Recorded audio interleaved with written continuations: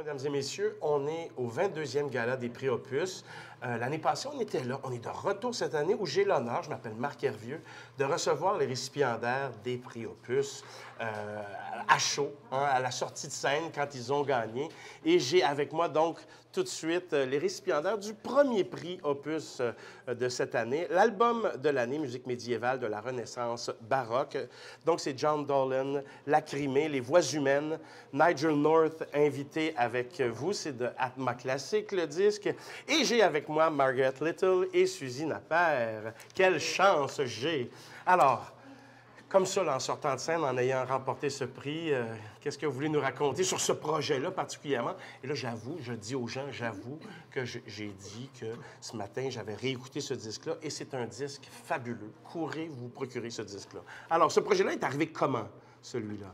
Bah, c'est un, un des, euh, des œuvres les plus renommées pour la viole. Donc, il fallait qu'on joue ça euh, dès qu'on avait un concert.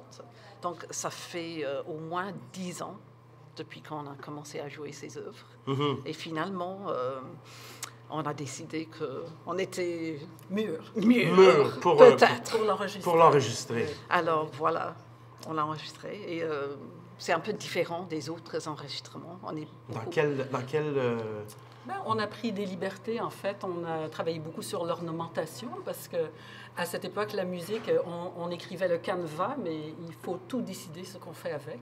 Entre autres, l'ornementation, entre autres, le roux-bateau et tout ça. Donc, on a travaillé, on s'est vraiment fait plaisir. On a pris le temps de chercher tout ce qu'on pouvait aller trouver. Ouais. Et puis Voilà. c'est- c'est fabuleux parce que juste avant qu'on arrive euh, en ondes sur le Facebook Live, vous m'avez fait une comparaison que j'ai tellement aimée. Alors parlez-moi de la cuisine et de cette musique-là. Bah, j'adore cuisiner. J'adore manger aussi. Et j'adore manger ce qu'elle cuisine.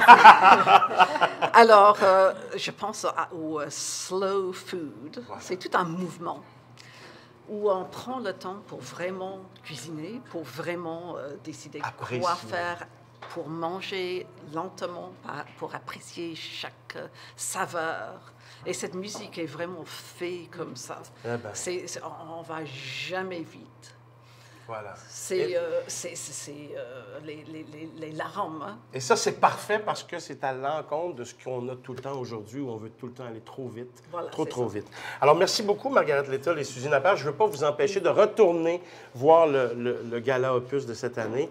Et puis, euh, encore bon succès dans tous vos projets. Et merci beaucoup au CQM, etc. Merci. Le prix. On revient plus tard. Merci. Merci à vous. Merci beaucoup. On va prendre une photo.